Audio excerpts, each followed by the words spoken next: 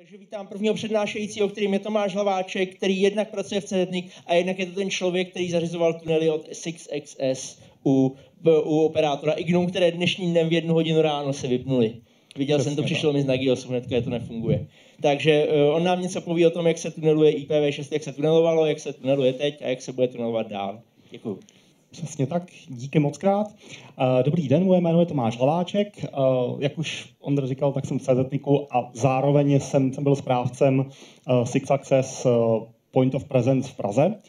A budu tady povídat spíš vlastně o přechodových mechanismech IPv6, protože vlastně původní idea byla udělat přednášku k tomu, že, že Six, Six Access končí a vlastně přestane poskytovat služby, ale to by bylo takový depresivní a takový zbytečně jako demotivující. Takže spíš, spíš plán je nejdřív vlastně udělat přehlídku, uh, přehlídku technologií, což teda za mě už vlastně udělal Pavel, takže uh, když se podíváme na první slide, tak bych v podstatě jenom uh, neumě povídal nad, uh, nad věcma, které už, už tady zazněly, takže spíš možná vypíchnu, co je na které technologii z mého pohledu zajímavého. A pak se přesuneme k historii Six Access a vlastně taky k důvodům, proč skončili a jak se dá pokračovat dál, nebo co se dá dělat dál. V první řadě, eh, když přijde na migraci nebo na přechod na IPv6, tak eh, asi stojí za to říct, že nejlepší přechodový mechanismus je zkrátka eh, IPv6 začít používat a to ideálně dual stakovaně. Eh, to v principu v Čechách jde, protože tady prostě máme sítě, které jsou komerčně dostupné, které mají eh, globální, nebo teda přesně řečeno celostátní měřítko a které prostě IPv6 provozují už leta a funguje to, funguje to prostě dobře, funguje to skvěle, funguje to dokonce líp než, než IPv4, takže eh, v principu ideální situace, že chceme dual stackovat, není problém. Máme-li nějaký důvod, že prostě jsme uzavřeni v IPv4 only síti, která nás nepustí z nějakého důvodu ven a uh, musíme hledat nějakou cestu, jak se dostat do IPv6, tak pak nastupuje tunelování. A uh, když teda se podíváme vlastně na prvních několik bodů, tak tohle tunelování je vlastně z pozice toho jednoho jednotlivého uživatele, který je prostě odkázán na tu svoji IPv4 only síť a musí se nějak jako dostat ven. Uh, v principu, když se zkusíme jako zamyslet nad tím, jak se ty tunely dají rozdělit, tak uh, nejtypičtější je vlastně rozdělit je na tunely, které jsou explicitně konfigurované a které nejsou explicitně konfigurované nebo které nevyžadují explicitní konfiguraci. Ty, které nevyžadují tu explicitní konfiguraci, to je 624 nebo Terido, nebo jak se správně čte. A uh, tyhle ty tunely uh, vlastně jsou vymyšlený strašně elegantně, akorát kulhají v té realizaci. Ono totiž, uh, pokud je o uh, 624, tak kdysi dávno, asi v roce 2006-2007, uh, Jeff Houston udělal takový experiment, že měřil vlastně success rate requestů, které přišly ze 624 adres, protože ono totiž uh, 624 je snadno rozeznatelné jako, jak, jak v podobě toho čtyřkového paketu, tak uh, v podobě toho šestkového, který je potom doručován po, uh, po šestkové síti, uh, protože to má prostě zvláštní prefix, který vlastně značí, že, že to 624. Uh, výsledkem toho experimentu nebo toho, toho měření Jeffa Houstona tehdy bylo, že 18% requestů, které přišly nebo které se poslali ze 624 adresy, uh, buď to nedorazili k cíli, anebo nedorazila zpátky odpověď, čili prostě to spojení selhalo, nefungovalo to, nespojilo se a uh, tím pádem ta technologie byla z těch či o něch důvodů vlastně jako nepříliš spolehlivá, nebo přesně řečeno pětina vlastně requestů nefungovala, nebo pětina paketu nebyla doručená prostě protože to naráželo na spoustu různých implementačních zádrhelů a spoustu různých filtrů a spoustu různých black holů někde prostě po cestě. Uh, navzdory tomu, že jako vymyšlení to prostě bylo strašně elegantně, používalo to eh, čtyřkový i šestkový Anycast, bylo to škálovatelný, bylo to jako zajímavý, ale vlastně dneska už ten uh, tahle ta věc není, není nějak jako zajímavá, nelze ji uh, seriózně doporučovat, přestože uh, pokud vím, tak uh, ještě běží poměrně dost 624 uh, gateway, vlastně, které jako jsou, jsou tím přestupním bodem mezi uh, six uh, enabled sítí a čtyřkovou sítí, tak, tak jako nemá to příliš mnoho uživatelů a ve výsledku přesto neteče moc trafiku, což ostatně ještě uvidíme na grafech na konci prezentace. Pokud je o Teredo, tak to je ještě horší story, protože to jako bylo příšerně nespolehlivé a, a ještě navíc tam, tam byla spousta uh, takových jako otázek nad bezpečností nebo spíš nebezpečností celého toho standardu, takže to uh, už tady bylo jednou označeno za zoufalost. Já se k tomu můžu jenom přiklonit, že, uh, že uh, to, je, to je prostě technologie, která jako nedává smysl. Pokud jde o dominantní technologii pro, připojení uh, koncových uživatelů, tak to jsou pevně konfigurované nebo explicitně konfigurované tunely. Ta explicitní konfigurace uh, v podstatě znamená, že jako obě strany vědí teda IP adresu nebo IPv4 adresu té druhé strany toho tunnel endpointu. Dozvědět se to můžou pochopitelně různými způsoby. A pak je ještě otázka vlastně, jak se budou enkapsulovat ty pakety. Přičemž teda ta nejtypičtější enkapsulace je už tady zmíněno, uh, zmiňovaný 6in4, čili že se efektivně vezme uh, ten šestkový paket a jenom se před něj přilepí čtyřková hlavička, která přenese přes tu IPv4 only seed ten uh, celý šestkový paket, kde se prostě vybalí zase na, na, na druhé straně a pokračuje dál šestkovou sítí. Výhoda pochopitelně je, že tohle je extrémně jednoduchá záležitost. Nevýhoda je, že Eh, že eh, to neprochází na tem, takže ve výsledku, i když se člověk eh, přenese přes to, že nej, nejjednodušší varianta je statická konfigurace, pokud člověk nemá pevné IP adresy, tak ještě potřebuje nějaký protokol na setup toho tunelu, aby se, vlastně vyřešilo to, že se mění IP adresa klienta, adresa toho v vozovkách serveru nebo toho tunel endpointu, který poskytuje služby, většinou zůstává. Ale i když se přes to přenesete, tak pak stejně neprojdete na ten. Aby se dalo projít na ten, tak eh, byly vymyšleny uh, protokoly, kde asi tak nej, nejzajímavější nebo nej, nejznámější a nej, nejšířeji používaný byl Anything in Anything, který vlastně vznikl přímo v dílně Six Access a byl součástí jejich, bohužel, closed source serveru nebo hm, té, té poskytovatelské části plus open sourceové klientské části. Tenhle ten protokol pochopitelně fungoval tím nejjednodušším možným způsobem, a totiž, že přenášel prostě šestkové pakety uvnitř UDP paketů, uvnitř čtyřkových, eh, čtyřkových hlaviček. A, nebo teda řekl správně datagramy, ne pakety, ale v každém případě to, eh, ta enkapsulace byla jako docela jednoduchá. Nicméně eh, ještě ten anything in anything přinášel bezpečnost navíc, protože měl jistá opatření, taková semikryptografická opatření proti tomu, aby se uh, dal snadno unést tunel. To znamená, uh, aby se nedalo tak snadno spůchovat vlastně, uh, vlastně odkudkoliv paket, který by vypadal jako, že pochází od, od toho tunelovacího klienta a že jako nese nějaké jeho informace. Nicméně, nicméně když se ještě podíváme na, eh, na jako další možnosti, které jsou tady vylistované, tak v podstatě všechno už to je věc, která je spíš pro providery, která je spíš, spíš pro uh, sítě, které, které, se, uh, které se pokouší nějak překlenout skutečnost, že nechtějí provozovat dual stack nad svojí reálnou infrastrukturou, prostě L, L1, L2. A v podstatě z hlediska koncového klienta uh, jsme odkázáni v podstatě na nějak, nějak eh, explicitně konfigurované tunely. V tomhle tom bodě stojí za to opustit eh, tu zoologickou zahradu těch všech možných tunelovacích technologií a podívat se na samotný 6XS, protože když se podíváte, tak tohle spousta věcí je označená, že že jako je to 6XS specifická záležitost. Eh, je to proto, že v podstatě 6XS stálo, stálo vlastně u začátku masivního tunelování IPv6 přes IPv4, protože vlastně začalo jako IPNG.nl a to v roce 2000, čili vlastně dneska to je bezmála 17 let, kdy s tím začali. V důsledku toho vlastně vymysleli spoustu věcí, jak už tady bylo, bylo ukázáno, vlastně vymysleli to anything in anything, pokoušeli se to standardizovat, nicméně pokud vím, tak, tak do stavu RFC to nedošlo. Vymysleli protokol Heartbeat a vymysleli protokol TIC, kterým vlastně setupovali tunely od klientů. Vedle toho existují konkurenční protokoly nebo konkurenční protokol, který RFC má a k tomu se ještě dostaneme, kdo ho používá. Myšlenkou toho Six Access bylo vlastně zapojit sponzory jednotlivých popů, protože autoři toho projektu byli vlastně dva, dva konkrétní lidé, kteří to měli jenom jako privátní projekt. Nestála zatím žádná jako firma nebo žádná jako iniciativa, která by prostě byla, byla placená vládou nebo něco podobného. A smyslem teda bylo získat sponzory, které budou poskytovat popy.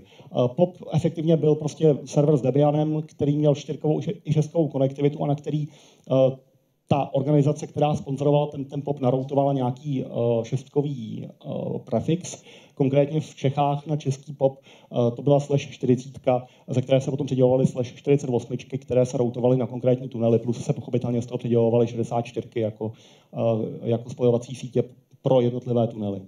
Uh, přičemž teda uh, do dneška bylo provozováno 46 popů, uh, ještě v historii bylo 19 popů, které byly mezi tím zrušeny, protože prostě ty sponzoři od toho odstoupili nebo z nějakého důvodu to jako přemigrovali jinam. Uh, jak už jsem říkal, tak v Čechách teda byl jeden pop sponzorovaný Ignumem a v Čechách bylo zhruba 700 uživatelů služby Six Access nebo služeb Six Access. Přičemž teda celou tu službu si lze představit jako, že prostě byl provisioning systém, který byl provozován právě tím Six Access, což byl prostě web plus nějaká databáze a pak teda byly ty uh, point of presence, uh, které byly víceméně pod zprávou toho, toho sponzora s tím, že SixAccess uh, si některé věci dělalo samo.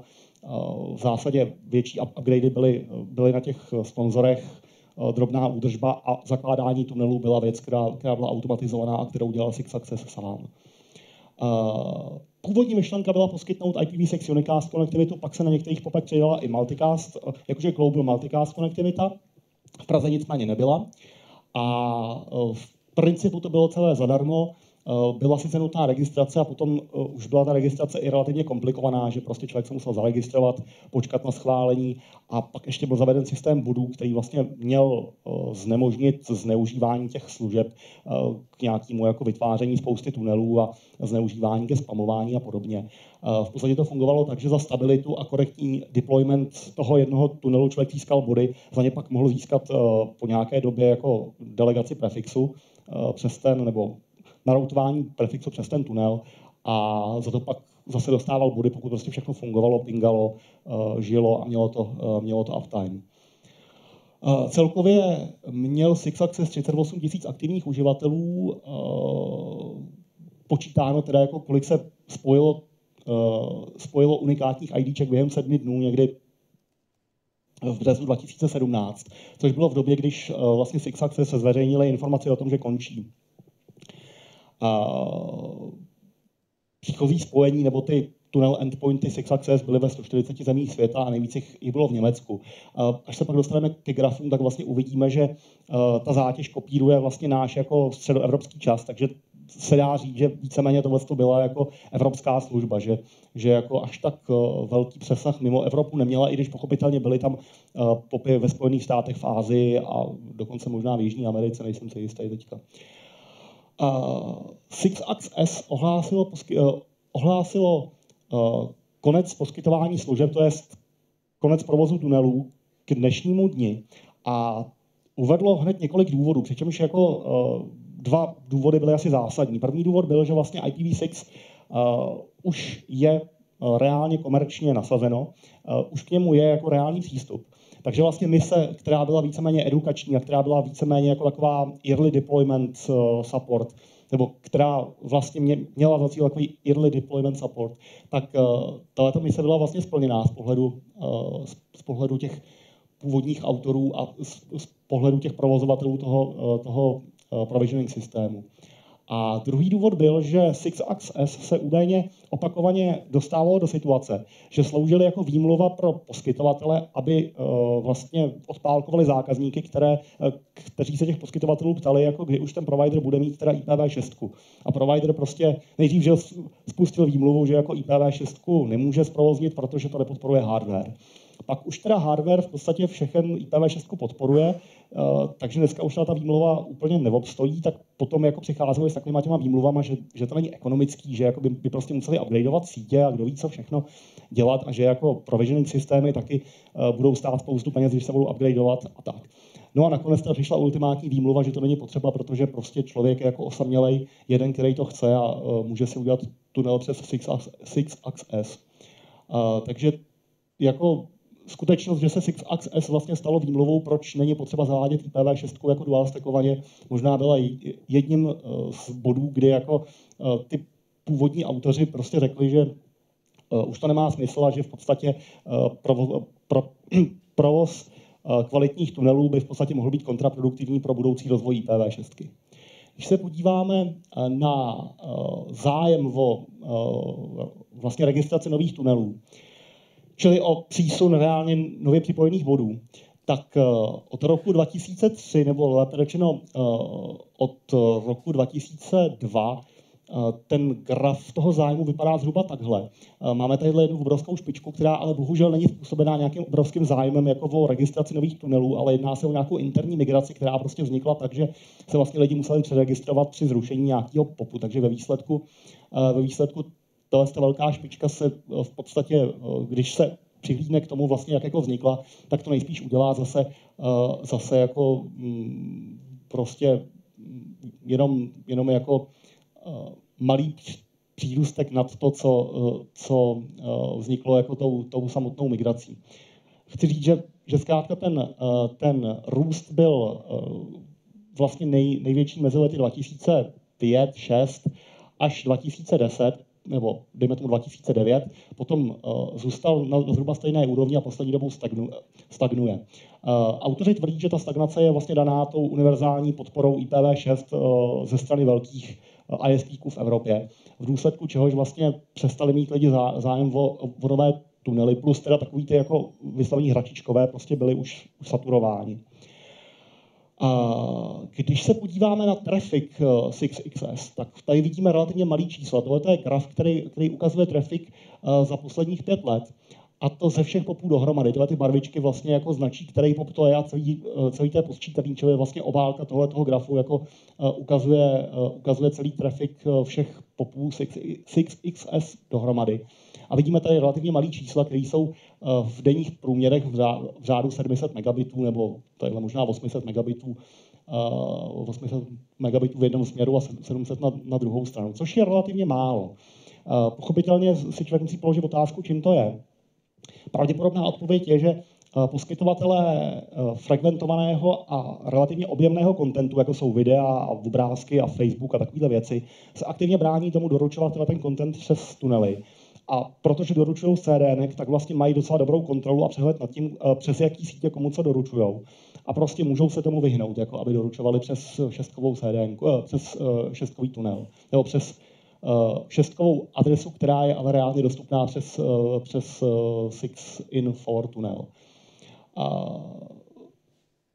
Když se podíváme ještě teda na graf denní zátěže, který je vlastně z posledního měsíce, tak tady vidíme, že, jak už jsem vlastně říkal, ten průběh kopíruje, když to tady bohužel moc, moc vidět není, protože tadyhle zmizel ten, ten, ten raster na tom, na tom projektoru, ale uh, nicméně z toho, uh, z toho grafu Eh, kdyby tam byl vidět raster, tak by bylo zřejmé, že vlastně jako špičku to má někdy v, ve večerních hodinách středoevropského času, což přesně koreluje s tím, že je to evropská služba a že ji používají hlavně domácí uživatelé, protože prostě, protože prostě tak ta služba vlastně byla, byla jako myšlená, tak, tak vlastně dává největší smysl.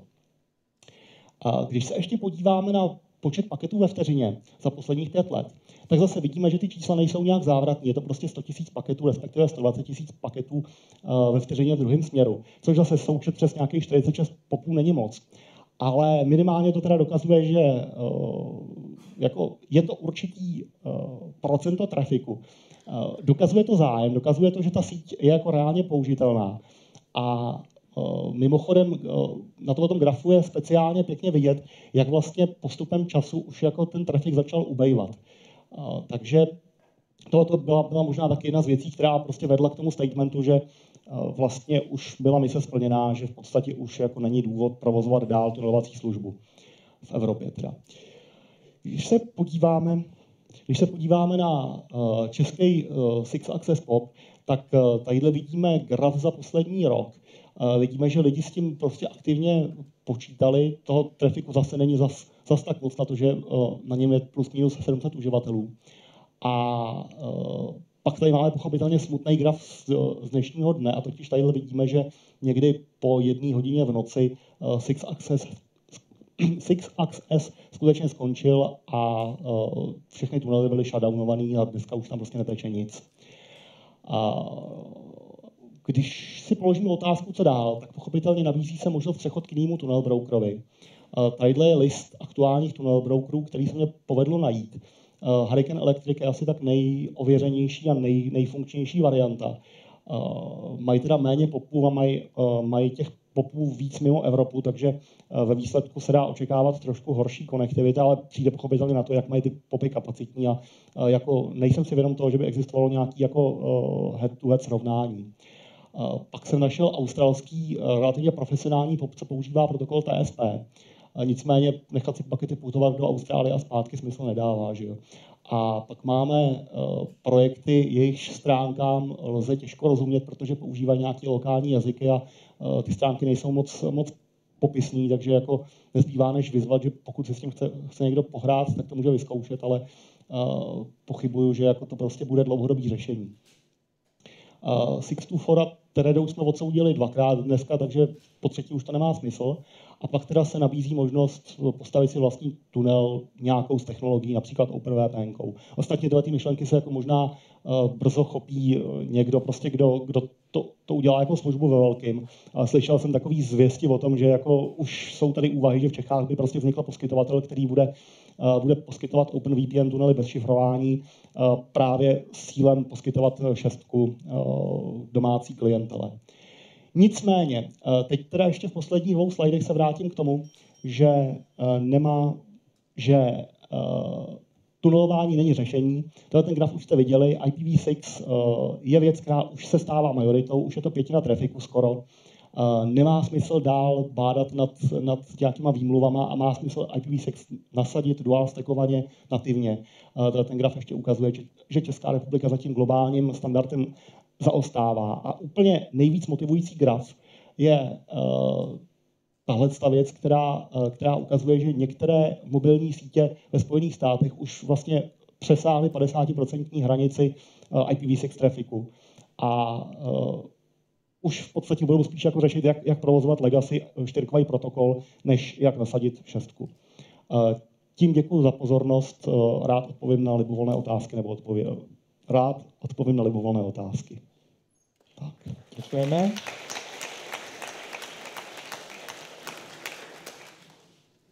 Máme tady otázku od Petra Krčmáře. Jak poskytovatel obsahu zabraňují tlačení provozu do tunelů? No, žiju představě, že uh, jako mm, CDNky mají pod kontrolou DNS. Uh, CDNky se jako drží svoje uh, informace, které nazbírali bůhy, kde nejspíš nějakou, a, nejspíš nějakou analýzou trafiku, možná analýzou nějaký databází, možná analýzou uh, round trip timeu, možná analýzou kdo ví, jakých dalších informací, které se dají vykoukat z IP hlaviček.